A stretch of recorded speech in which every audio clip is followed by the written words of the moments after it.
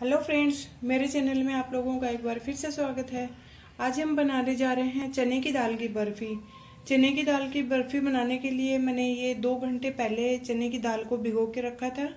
ये मैंने कुछ ड्राई फ्रूट्स लिए हैं, ये चीनी ली है, देसी घी है, और ये मैंने इलायची ली है, और ये मैंने एक कप दूध लिया है।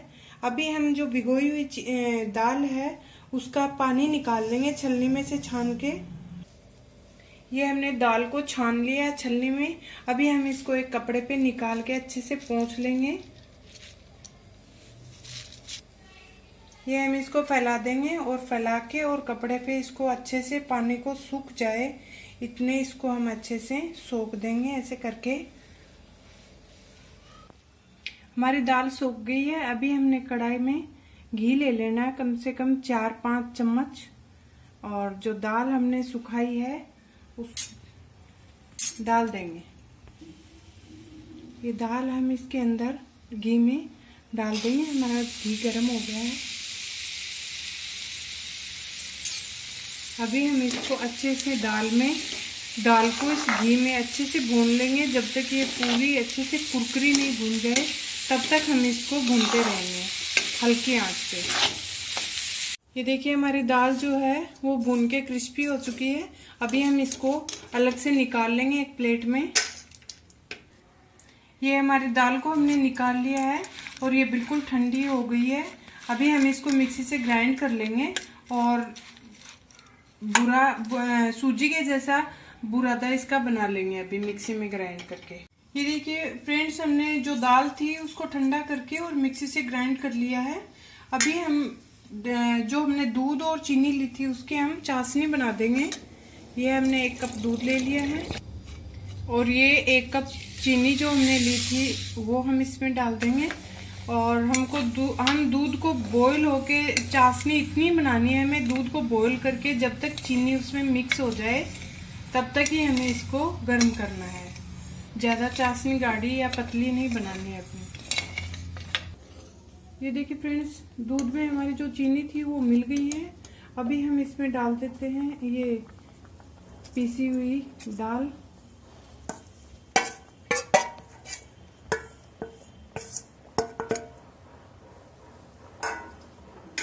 और इसको अच्छे से मिला लेंगे हम।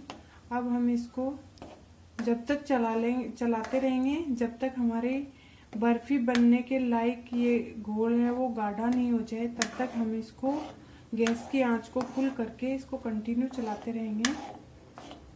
और जो घी हमने रखा था, वो भी हम इसके अंदर डाल देंगे।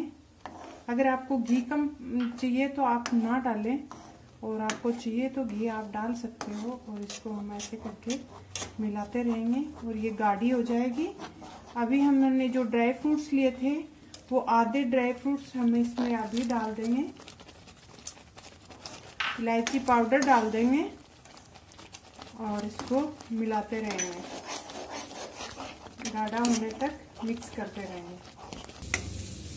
ये देखिए फ्रेंड्स, हमारी जो बर्फ़ी है वो जमने लायक हो गई है। इसका ये गोल अभी हम गैस को कर देते हैं बंद और इसको एक बार के लिए चला देते हैं अच्छे से और फिर हमें एक थाली में घी लगा के और उसमें हम निकाल के बर्फ़ी को जमा देंगे।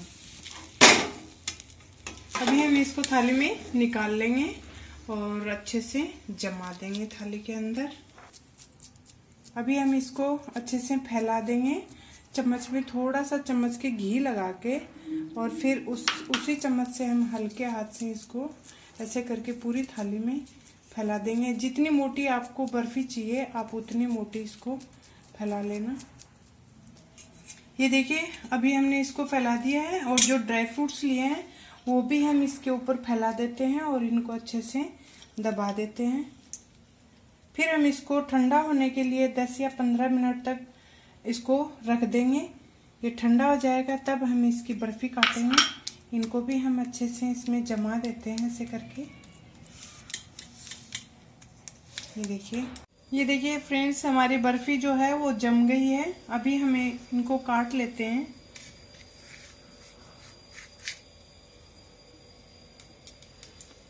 सेप आप अपने अकॉर्डिंग दे दीजिए इसको, छोटी या बड़ी। फ्रेंड्स, हमारी जो बर्फ़ी हैं वो बन के तैयार हो गई है। अभी हम इनको निकाल लेते हैं एक एक करके। ये देखिए, बड़ी आसानी से निकल रही हैं।